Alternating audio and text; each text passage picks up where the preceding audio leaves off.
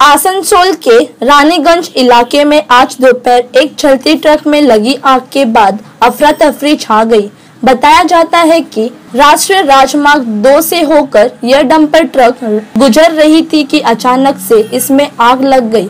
इस ट्रक में लगी आग ने महज कुछ मिनटों के अंदर ही इस पूरे ट्रक को अपनी चपेट में ले लिया जब तक ट्रक चालक कुछ समझ पाता, तब तक आग पूरे ट्रक में फैल गई थी और राष्ट्रीय राजमार्ग दो पर खड़ी यह ट्रक आग के गोले में तब्दील हो गई। स्थानीय कुछ लोगों ने तत्काल इसकी सूचना दमकल विभाग को दी, जिसके बाद यहाँ पहुँचे दमकल कर्मियों और पुलिस ने काफी मशक्कत के बाद इस आग पे काबू पाया जब तक दमकल कर्मी इस आग पे काबू पाते उससे पहले ही ट्रक 80 फीसदी से ज्यादा जल गया था आग के कारणों का भी अभी तक पता नहीं चल पाया है এ, কি দেখলেন আপনারা আমাদের মঙ্গলপুর জা- জাতীয় সড়ক তো রোডের মধ্যে একটা ডাম্পারে হঠাৎ করে আগুন লেগে যায় তো আগুন লাগার পর মানে যদি যত মানে তাড়াতাড়ি যদি ফায়ার ব্রিগেড যদি আসতো পুলিশও এসছে তাহলে হয়তো মানে ডাম্পারটা বেঁচে যেত।